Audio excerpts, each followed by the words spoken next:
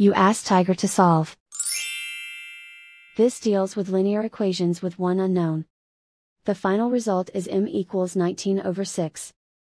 Let's solve it step by step. Simplify the expression. Find the greatest common factor of the numerator and denominator. Factor out and cancel the greatest common factor. Isolate the m.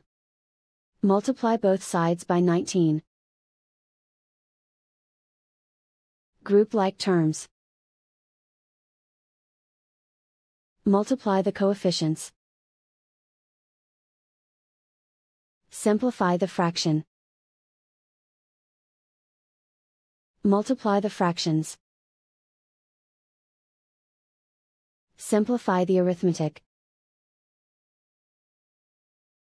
And so the final result is m equals 19 over 6.